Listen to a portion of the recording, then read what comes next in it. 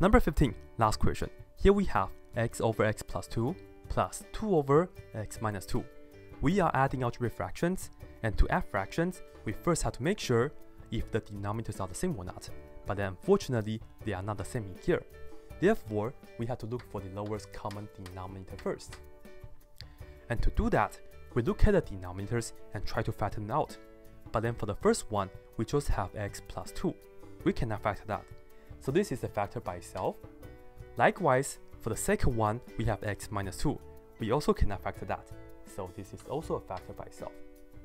Because they have no common factor, for the lowest common denominator, we just multiply them together. So we have x plus 2 times x minus 2. And the idea is, we want to look at both fractions and change them so that they all have the lowest common denominator. And let me write this down. For the first one, I want to write it down as something on the top over that for the denominator, x plus 2 times x minus 2. And then we add it with the second one, something on the top, over this for the denominator, x plus 2 times x minus 2. And we just have to figure out what do we need to multiply for the first fraction and also the second fraction to achieve this. For the first fraction, originally the denominator is x plus 2, but I need to have another x minus 2.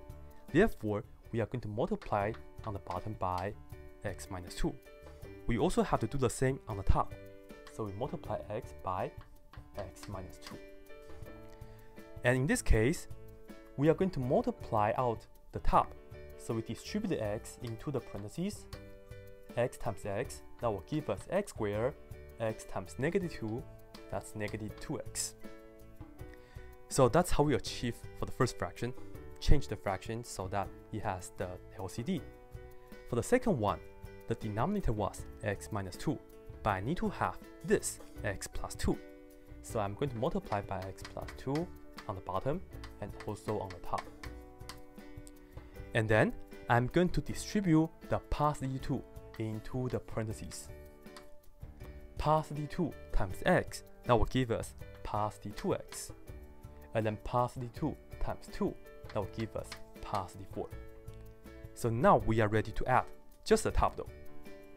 The denominator will stay the same. We'll just put down x plus 2 times x minus 2, and then we'll combine terms on the top. Here we have x squared, but there's nothing else that has x squared. So we just put down the x squared. But then for the minus 2x, here we have the positive 2x. They cancel out. At the end, we have the positive 4, so we just put down plus 4. That's pretty much it. x squared plus 4 over x plus 2 times x minus 2. However, this is not one of the answer choices because what they did is, they just multiply out the denominator. That's all. So we'll do that. x times x will give us x squared, x times negative 2, that's minus 2x, and then positive 2 times x, that's plus 2x, and then positive 2 times negative 2, that's minus 4. And as we can see, the minus 2x plus 2x, they cancel. So at the end, on the numerator, we have x squared plus 4 over the denominator is x squared minus 4. So this is the final result that they have in answer choice C. That's it.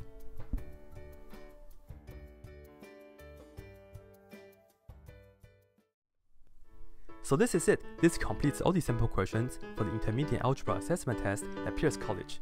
Good luck on the actual test.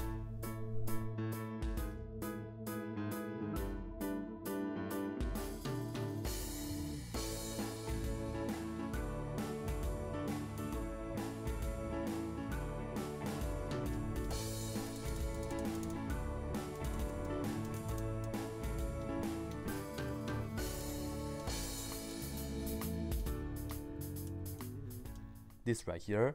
Is 0